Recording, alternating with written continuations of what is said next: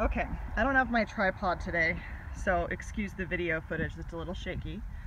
Um, I want you to stop using the harness with him. First of all, it's really messing up his coat because it's so long and curly right now, but he needs to learn to give in to pressure on his neck and to steer essentially. So I've, I've taught him power steering. Um, but the thing is, is when you have a, le a leash attached to his back, you can't really help him make correct choices when you're teaching him things like come or ignoring things. Attached to his neck, I can kind of turn him around and more importantly, turn his focus and eye contact back around. Auggie, Auggie, come! Good boy! Good boy! Yes! So, what you saw there is he turned around as soon as he heard his name. He didn't come right away. Oh, that was a big, big piece. Um, but as soon as you get his attention, I want you to start praising him and he'll come the rest of the way usually. Now, had he not come to me, good boy, that's a good come, yes.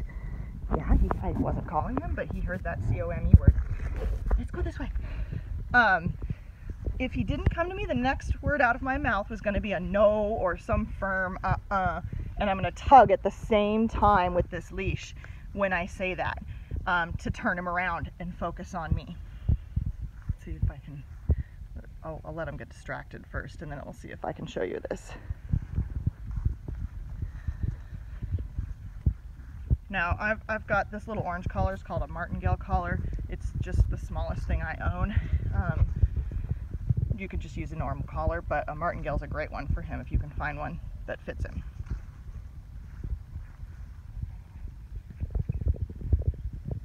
Auggie, Auggie, come!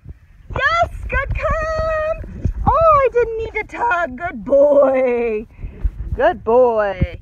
Well, I'll try and capture tugging when he makes an incorrect choice, which will happen from time to time because he's he's a Yorkie. He's more independent, and he's got his own ideas of what he wants to do. But he's been coming a long way.